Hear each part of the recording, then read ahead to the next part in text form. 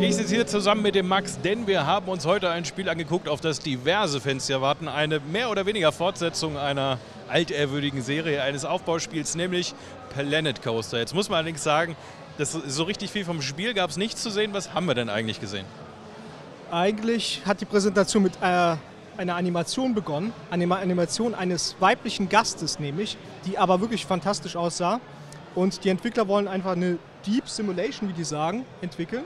Also eine wirklich, eine wirklich tiefgreifende Simulation eines Freizeitparkmanagers.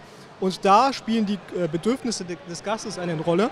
Und die sollen nicht nur anhand irgendwie blinkender Icons oder irgendwelche Symbole ablesbar sein, sondern an den Figuren. Und die Entwickler von Frontier haben richtig viel Zeit und viel Mühe äh, in die Mimik und Gestik der Charaktere investiert. Und das war in der Präsentation relativ verblüffend aus. Ja, das soll auch so ein bisschen so das Interface, also nicht ersetzen, aber ergänzen, also dass man nicht ständig auf Balken gucken muss.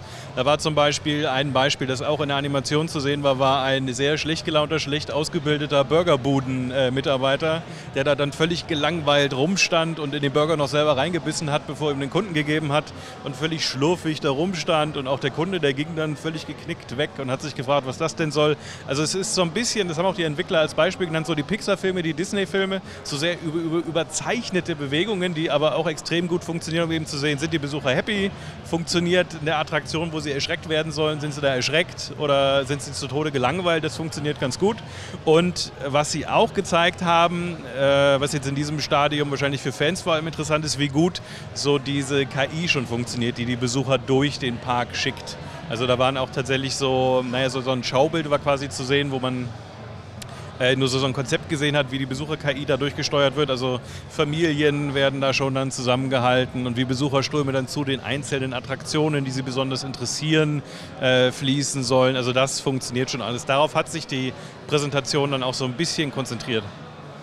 Ja, richtig. Da kann man eigentlich nicht so viel sagen. Also was Sie noch erwähnt haben, ist dass diese Ego-Perspektive äh, aus Theme Park World dürfte man kennen, dass man Fahrattraktionen quasi aus der Ego-Perspektive sehen kann und quasi abfahren kann und was man selber geschaffen hat.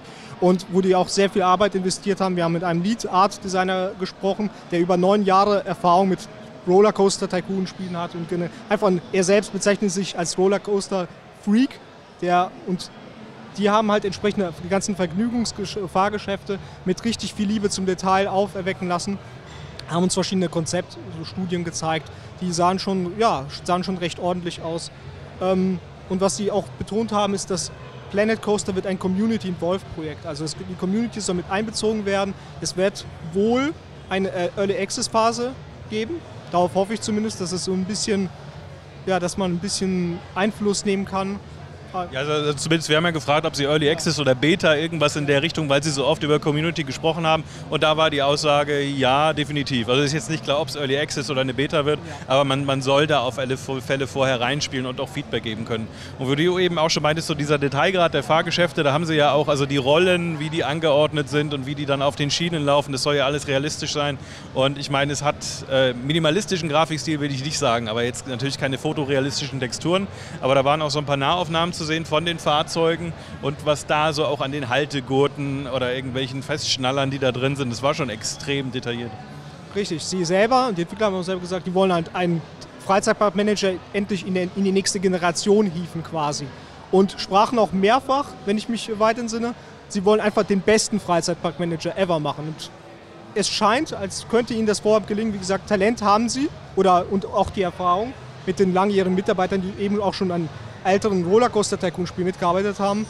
Und obwohl wir eben nicht kein richtiges Gameplay gesehen haben, glaube ich schon, dass sie das hinbekommen. Aber wir müssen erst mal abwarten. Vor 2016 ist jedenfalls nicht mit einem Release von Planet Coaster zu rechnen. Ja, richtig fundiertes Fazit fällt natürlich schwer, weil wir, wie gesagt, vom Spiel nichts gesehen haben. Aber auf der Basis von dem, was wir gesehen haben, sind wir, glaube ich, einigermaßen guter Dinge, dass da durchaus was draus werden könnte. Insofern, äh, Fans dieses Genres Roller, äh, äh, Planet Coaster, so rum. Man will immer noch den alten Namen sagen. Planet Coaster definitiv mal vormerken.